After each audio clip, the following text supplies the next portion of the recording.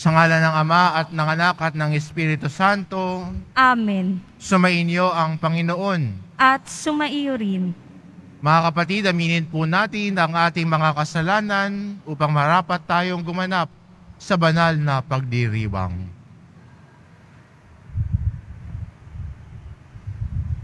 Inaamin ko Sa makapangyarihang Diyos at sa inyo mga kapatid, na lubha akong nagkasala sa isip, sa salita at sa gawa at sa aking pagkukulang.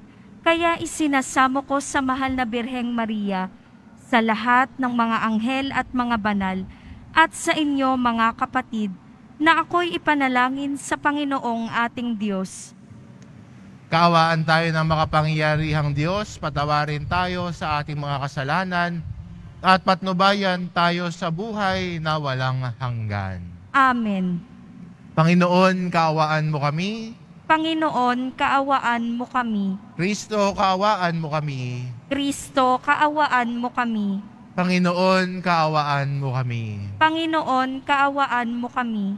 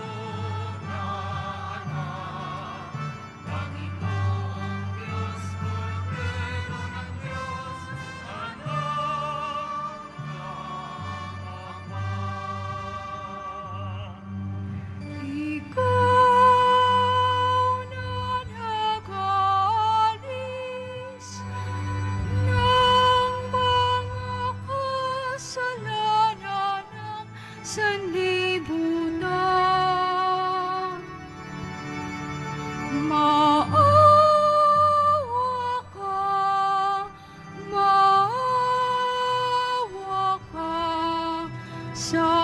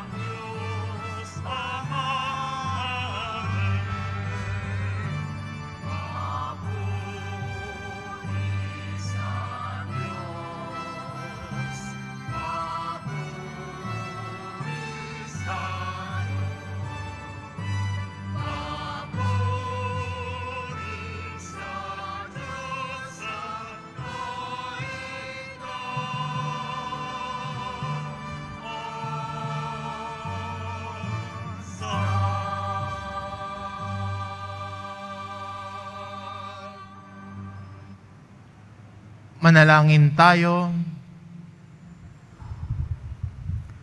Ama naming makapangyarihan, pinagpala mo ang sangkatauhan sa inuluwal ng mahal na ina. Ipalasap mo sa amin ang kanyang pagdalangin sa pamamagitan ng iyong anak na isinilang niya para sa amin upang kami mabuhay, mabuhay kasama mo at ng Espiritu Santo magpa sa walang hanggan. Amen. Magsiupo po ang lahat. Pagbasa mula sa aklat ng mga bilang. Sinabi ng Panginoon kay Moises, Sabihin mo kay Aaron at sa kanyang mga anak na ito ang sasabihin nila sa pagbibindisyon nila sa mga Israelita. Pagpalaing ka nawa at ingatan ng Panginoon Naway kahabagan ka niya at subaybayan. Lingapin ka nawa niya at bigyan ng kapayapaan. Ganito nila babanggitin ang pangalan ko sa pagbibendisyon sa mga Israelita at pagpapalaing ko ang mga ito. Ang salita ng Diyos. Salamat sa Diyos. Kami inyong kaawaan, pagpalain poong mahal. Kami iyong kaawaan, pagpalain poong mahal. O Diyos, pagpalain kami kahabagan. Kami, Panginooy, iyong kaawaan, upang sa daigdig mabatid ng lahat ang iyong kalooban at ang pagliligtas. Kami iyong kaawaan, pagpalain poong mahal. Naway purihin ka ng mga nilikha, pagkat matuwid kang humatol sa madla. Ikaw ang patnubay ng lahat ng bansa. Kami iyong kaawaan, pagpalain poong mahal. Purihin ka nawa ng lahat ng tao. Purihin ka nila sa lahat ng dako. Ang lahat sa ami, iyong pinagpala. Naway igalang ka ng lahat ng bansa. Kami iyong kaawaan, pagpalain poong mahal.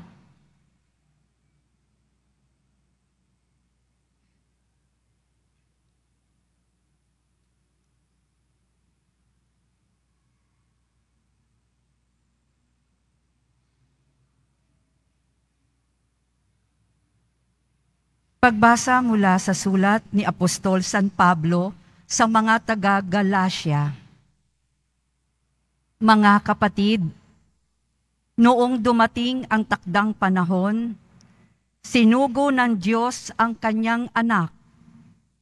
Isinilang siya ng babae at namuhay sa ilalim ng kautusan upang palayain ang mga nasa ilalim ng kautusan sa gayon, tayo'y mabibilang na mga anak ng Diyos. Upang ipakilalang kayo'y mga anak ng Diyos, pinagkalooban niya tayo ng Espiritu ng Kanyang anak, nang tayo'y makatawag sa Kanya ng Ama, Ama ko. Kaya't hindi ka na alipin, kundi anak sapagkat anak, ikaw ay tagapagmana ayon sa kalooban ng Diyos. Ang salita ng Diyos. Salamat sa Diyos. Magsitayo po ang lahat.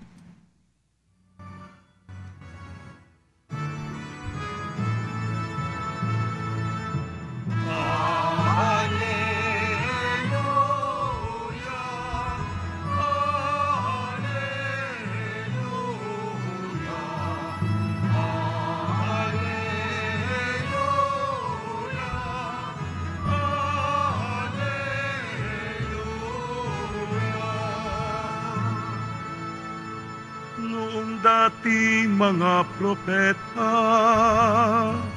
ngayon na may anak niya, ang sugo ng Diyos na Ama.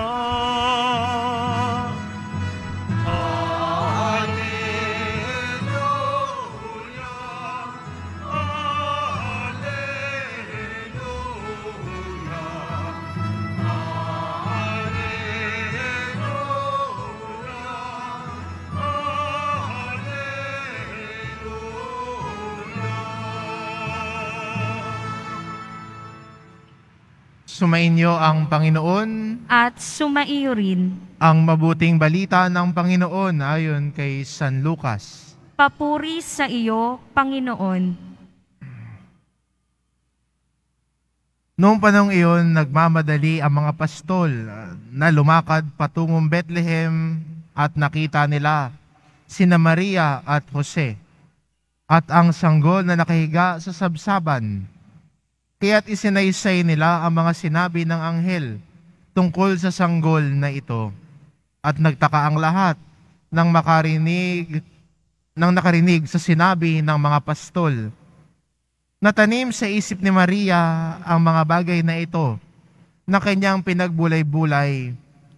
Umalis ang mga pastol na nagpupuri sa Diyos at nagpapahayag ng kanyang kadakilaan dahil sa lahat ng narinig nila at nakita na ayon sa ibinalita ng anghel. Pagdating ng ikawalong araw ay tinuli ang bata at pinangalan ng Jesus. Ang pangalang ibinigay ng anghel bago pa siya ipaglihi. Ang mabuting balita ng Panginoon. Pinupuri ka namin, Panginoong Heso Kristo. Magsiupo po ang lahat.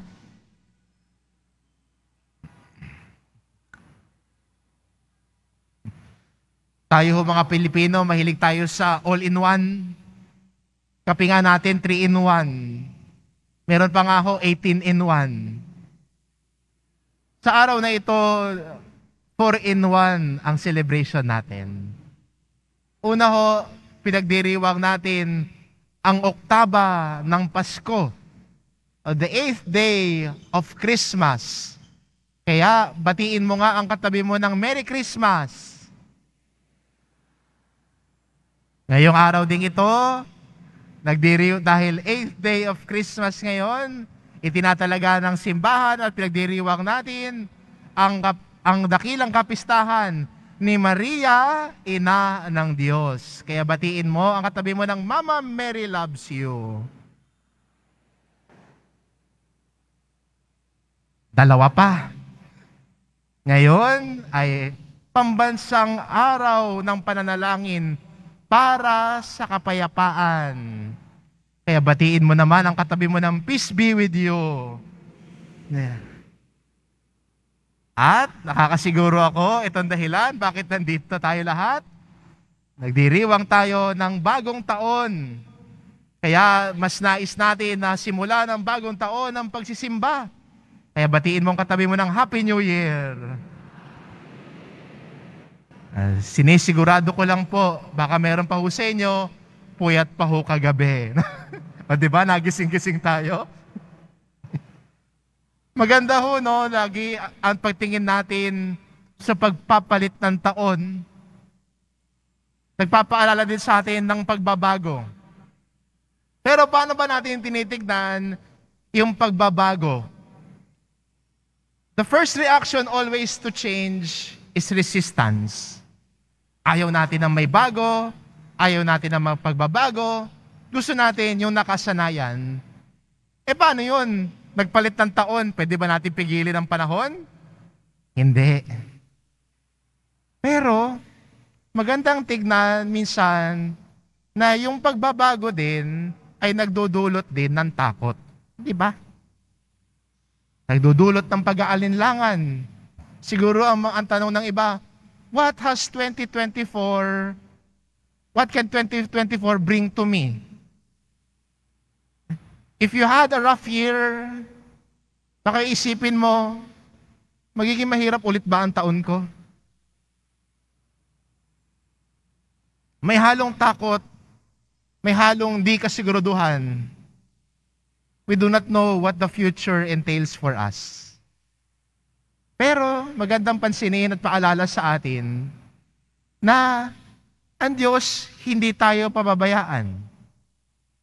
Ang Diyos sa ating pagdiriwang pa rin ng panahon ng Kapaskuhan, siya ang Diyos na nagkatawan tao, kapiling natin, kasama natin. At siya parehong, siya pa din ang parehong Diyos na nagsasabi sa atin, huwag kang mag-alala. Do not worry. Huwag kang matakot. But instead of worrying, be filled with hope. Kaya, bagamat may takot, may pag-aalinlangan, magandang tignan na ang pagpapalit ng taon ay nagbibigay din sa atin ng bagong simula, bagong pag-asa. At sinong pinaguhugutan ng pag-asa natin? Walang iba ho kung hindi si Jesus. Christ is our hope. Siya po ang pag-asa natin. Kaya kaya nating tumingin sa kinabukasan natin. Kaya nating harapin ang bagong taon na may pag-asa, hindi takot, dahil kapiling natin ang Diyos. Pagtitiwala, hindi pag-aalinlangan, dahil kapiling natin ang Diyos. Ito po yung una. Oo, may pagbabago, nagpapalit ang taon, may halong takot at pag-aalinlangan. Pero sa kabila ng ito, nariyan ang Diyos na kasama at kapiling natin. Minsan nga, kahapon ho, nag, nag-scroll ho ako sa Facebook at tinitignan ko, ano bang iniisip ng mga tao ngayon? Oho. Meron ho kadal- kadalasang post ay, 2024, please be good to me. Kaya para maging good ang 2024, sini, sinesearch, ano ba ang lucky color? No? Ano ba ang pagpapaswerte sa atin? Ano magpapaswerte sa akin para maging good ang 2024 ko? Let's go back to the first reading. Ano ang sabi ng ating unang pagbasa? Inutusan ng Diyos kay Moises na sabihan si Aaron na basbasan ang kanyang bayan. Kaya ang baon sa atin ng isalita ng Diyos ngayon, hindi ho swerte, kundi biyaya. At siguro, nandito tayo ngayon dahil hinihingi natin ang pagbabasbas ng Panginoon. Nabasbasan niya ang ating paglalakbay, basbasan niya ang ating mga pangarap at mga ating mga pamilya. We pray and ask for God's blessing. At hindi ba, kung asa ng biyaya ng Diyos, naroon din ang kapayapaan? Jesus gives us the peace that the world cannot give. Kapanatagan sa presensya ng Diyos. Siguro ito din yung hingin natin sa Diyos ngayon. Yung iba kasi atin, gusto natin, Lord, sana swertihin ako. Sorry, God does not give you swerte. Hindi ho nagbibigay ng swerte ang Diyos. Kasi yung swerte parang pag may ginawa ka, sinuot mo yung siswertihin ka. Pero ang bigay sa atin ng Diyos, pagpapala at biyaya. At sana ito yung naisin natin. Naisin ang pagpapala at biyaya ng Diyos. Sabihin nga natin, pagpalain mo kami, Panginoon. At ito ang ating ninanais. Ito ang ating pinagdadasal at hinihingi sa mahal na pong Isus Nazareno na tayo ay kanyang at lagi niyang pagpalain, lalo na ng kanyang presensya. The greatest blessing that we have right now as Christians is the presence of God. Presensya ng Diyos ang pinakadakilang biyayang binigay ng Diyos sa mundo. presensya ng Diyos at ang Diyos na nagkatawan tao ang pinakadakilang regalo ng Diyos para sa atin. We face the future with hope. Kasama din po ng bagong taon, aminin natin, tatanda tayo. Pag yung birthday mo ay January, birth month mo ngayon, happy birthday sa'yo. Pero sana wag lang natin tignan na yung pagtanda ay pag lumipaglipas ng kutis. Pero maganda tignan na ang pagtanda din ay paraan ng paglago. To mature in faith. Kaya ito din po ang hingin natin, grasya at biyaya sa Panginoon. Lord, help me to mature in my faith. Ito po yung hingin natin to grow, lumago sa pananampalataya, lumago sa ating pananampalataya sa Panginoon.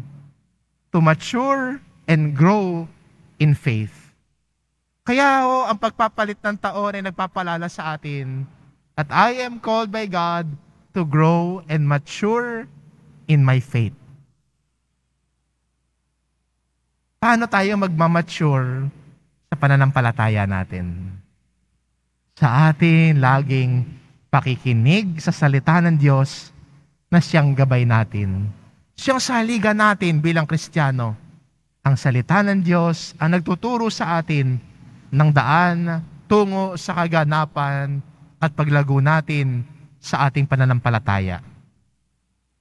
Go back to God's Word. Ang lahat ng ito, sinasabi ng Diyos sa atin, hindi ka nag-iisa. May kalakbay tayo. May kapiling tayo. At ang kalakbay natin sa simula ng taon ay laging si Maria, ang ina ng Diyos. Si Maria lagi nagpapaalala sa atin, gawin ninyo ang sinasabi niya. Si Maria na nauna na sa atin, na nagpahayag na kanyang pagtalima sa aral at utos ng Diyos.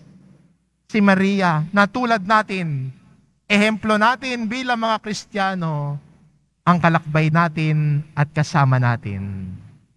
We have our mother, ang mahal na Birheng Maria, kasama natin, kalakbay natin, patungo sa Diyos. Hindi tayo nag-iisa. Kasama natin ang Diyos. Siya ang Emmanuel. Kasama natin si Maria, ang ina ng Diyos. Kaya wala ka dapat ikatakot. Wala ka dapat ikapangamba. Tumingin sa taong ito ng puno ng pag-asa, paglago sa pananampalataya, at paglago sa ating pagmamahal sa Diyos. Amen. Magsitayo po ang lahat.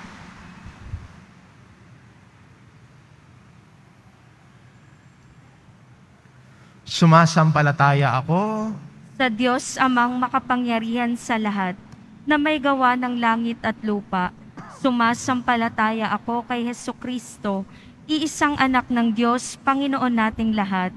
Nagkatawang tao siya, lalang ng Espiritu Santo, ipinanganak ni Santa Mariang Birhen, pinagpakasakit ni Poncio Pilato, ipinako sa krus na matay inilibing, nanaog sa kinaroroonan ng mga yumao, nang may ikatlong araw na buhay na magmuli, umakyat sa langit, naluluklok sa kanan ng Diyos amang makapangyarihan sa lahat.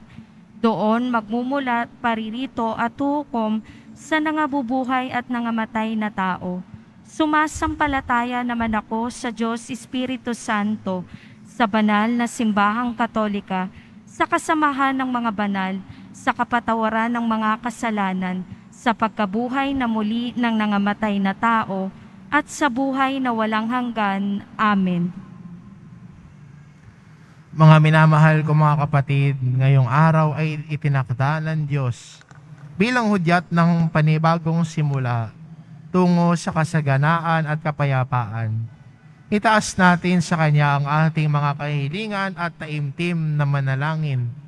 Ama ng kapayapaan, dinggin mo kami. Ama ng kapayapaan, dinggin mo kami.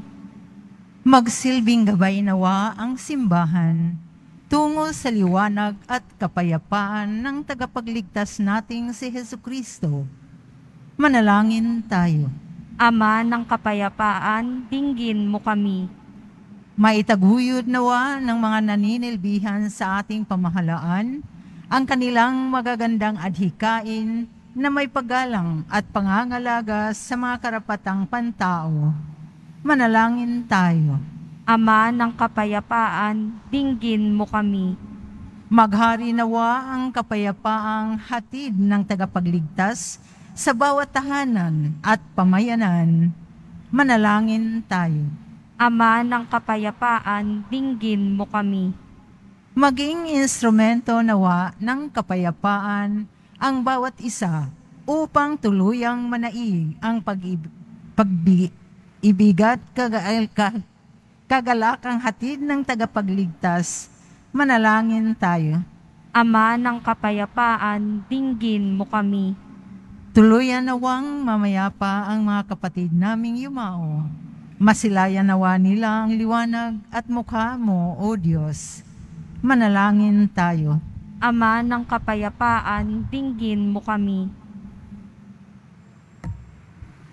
Ama namin, batid mo ang aming pagpapagal dito sa mundo. Tulungan mo kaming ipalaganap ang iyong kapayapaan upang may ahon namin ang aming pamumuhay sa iyong magandang kalooban. Hinihiling namin ito sa pamamagitan ni Kristong aming Panginoon. Amen. Magsiupo po ang lahat.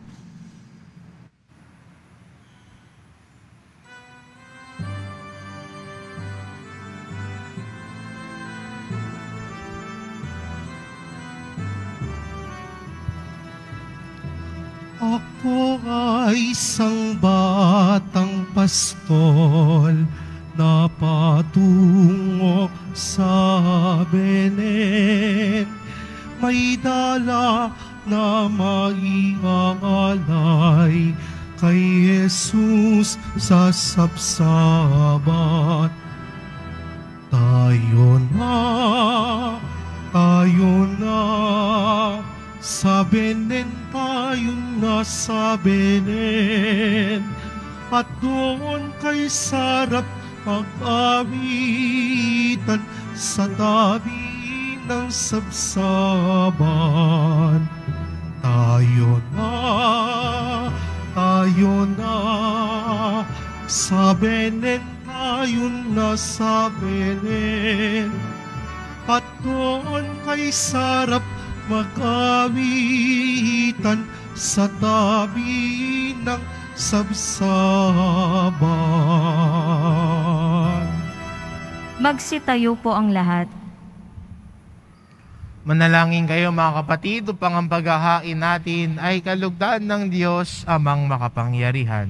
Tanggapin nawa ng Panginoon itong paghahain sa iyong mga kamay sa kapurihan niya at karangalan sa ating kapakinabangan at sa buong sambayanan niyang banal.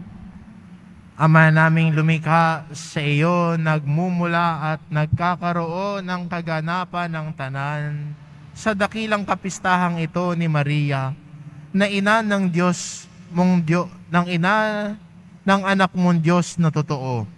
May pagdiwang nawa namin ang pasimula ng bagong taon at paratingin mo kami sa kaganapang ito sa pamamagitan ni Heso Kristo kasama ng Espiritu Santo magpasawalang hanggan. Amen. Sumainyo ang Panginoon. At sumaiyo rin, Itaas sa Diyos ang inyong puso at diwa. itinaas na namin sa Panginoon. Pasalamatan natin ang Panginoong ating Diyos. Marapat na siya ay pasalamatan. Ama naming makapangyarihan, tunay ngang marapat na ikaw ay aming pasalamatan ngayong dakilang kapistahan ni Maria, Ina ng Diyos. Bukod mong pinagpala sa babaeng lahat, ang mahal na berheng totoong mapalad na iyong piniling maging ina ng iyong anak. Noong isugo mo siya bilang aming Mesiyas. Sa kapangyarihan ng Espiritong Banal, ang Birheng Maria ay naging inang tunay ng iyong anak na kanyang isinilang bilang liwanag nitong sanlibutan. Kaya kaysa ng mga anghel na nagsisiawit ng papuri sa iyo, nang walang humpay sa kalangitan, kami nagbubunyi sa iyong kadakilaan.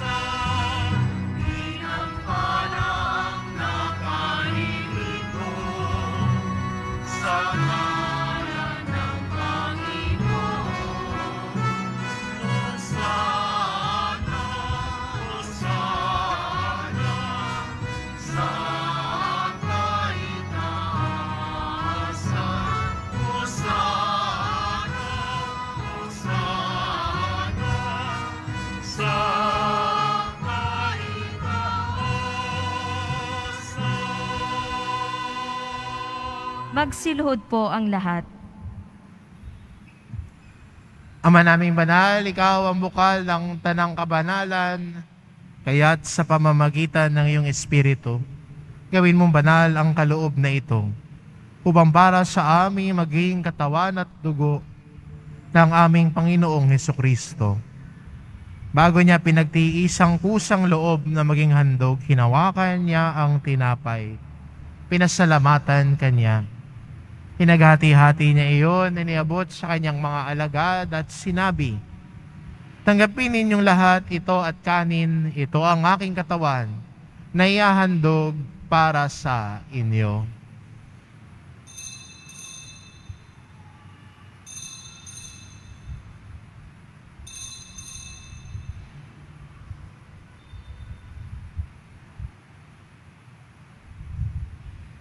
Ngayon din naman na matapos ang hapunan, hinawakan niya ang kalis. Muli kanyang pinasalamatan. Iniabot niya ang kalis sa kanyang mga alagad at sinabi, Tanggapin ninyong lahat ito at inumin. Ito ang kalis ng aking dugo, ng bago at walang hanggang tipan.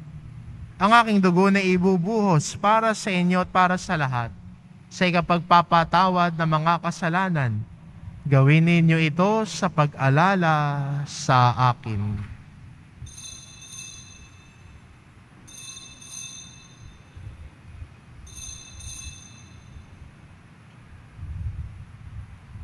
Magsitayo po ang lahat. Ipagbunyi natin ang misteryo ng pananampalataya. Si Kristo'y namatay, si Kristo'y nabuhay, si Kristo'y babalik sa wakas ng panahon. Ama, ginagawa namin ngayon ang pag-alala sa pagkamatay at muling pagkabuhay ng iyong anak. Kaya't inaalay namin sa iyo ang tinapay na nagbibigay buhay at ang kalis na nagkakaloob ng kaligtasan. Kami nagpapasalamat dahil kami iyong minarapat na tumayo sa harap mo para maglingkod sa iyo. Isinasamo namin kaming magsasalo-salo sa katawan at dugo ni Kristo ay mabuklod sa pagkakaisa sa pamamagitan ng Espiritu Santo. Ama, lingapin mo ang iyong simbahang laganap sa buong daigdig. Puspusin mo kami sa pag-ibig, kaisa ni Francisco na aming Papa at ni Jose na aming Obispo at ng Tanang Kaparian. Alalahanin mo rin ang mga kapatid naming nahimlay na may pag-asang sila'y muling mabubuhay gayon din ang lahat ng mga pumanaw. Kaawaan mo sila at patuloyin sa iyong kaliwanagan. Kaawaan mo at pagintapatin kaming lahat na makasalo sa iyong buhay na walang wakas. Kaisa ng mahal na Birheng Maria na Ina ng Diyos, ng kabiyak ng puso niyang si San Jose, kaisa ng mga apostol at ng lahat ng mga banal, na namuhay dito sa daigdig ng kalugod-lugod sa iyo. Maipagdiwang nawa namin ang pagpupuri sa ikararangal mo sa pamamagitan ng iyong anak na aming Panginoong Heso Kristo.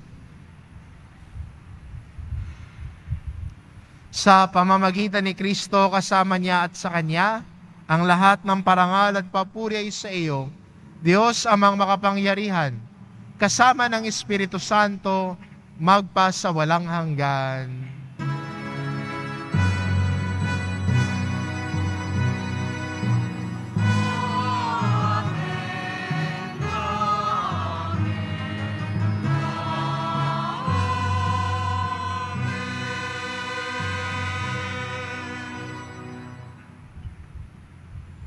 sa tagubili ng mga nakagagaling na utos at turo ni Jesus na Panginoon natin at Diyos.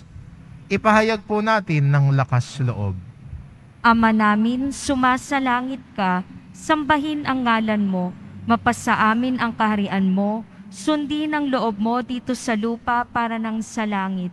Bigyan mo kami ngayon ng aming kakanin sa araw-araw at patawarin mo kami sa aming mga sala para ng pagpapatawad namin sa nagkakasala sa amin. At huwag mo kaming ipahintulot sa tukso at iadya mo kami sa lahat ng masama. Hinihiling namin kami adya sa lahat na masama pagkalooban ng kapayapaan araw-araw. Iligtas sa kasalanan at ilayo sa lahat ng kapahamakan. Samantalang aming pinananabikan ang dakilang araw ng pagpapahayag ng tagapagligtas naming si Heso Kristo. Sapagkat iyo ang kaharian at ang kapangyarihan at ang kapurihan magpakailanman. Amen.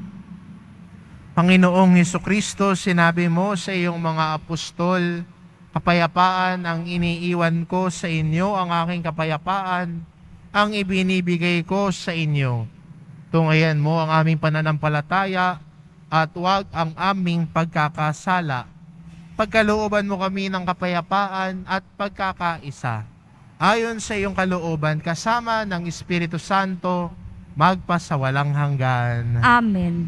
Ang kapayapaan ng Panginoon ay laging sumainyo. At sumaiyo rin. Magbigayan kayo ng kapayapaan sa isa't isa.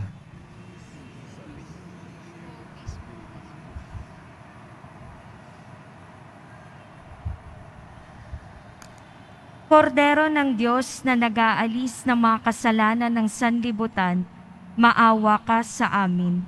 Kordero ng Diyos na nag-aalis ng mga kasalanan ng sanlibutan, maawa ka sa amin. Kordero ng Diyos na nag-aalis ng mga kasalanan ng sanlibutan, ipagkaloob mo sa amin ang kapayapaan. Magsiluhod po ang lahat.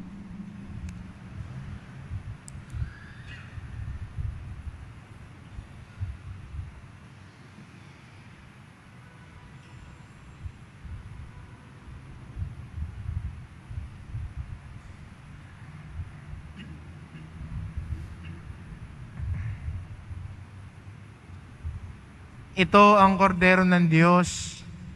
Ito nag-aalis ng kasalanan ng sanlibutan.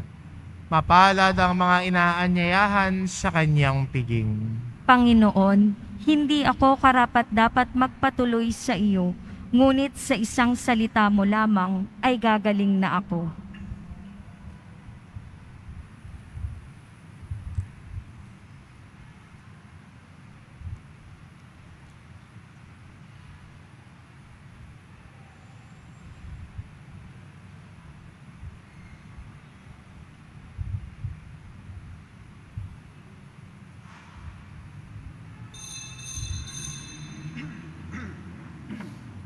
Para sa lahat ng tatanggap ng banal na komunyon, sasagot po tayo ng amen pagkasabi ng pari o ng lay minister ng katawan ni Kristo at isubo agad sa bibig bago umalis sa harapan ng pari o lay minister. Sumunod po tayo. Maraming salamat po.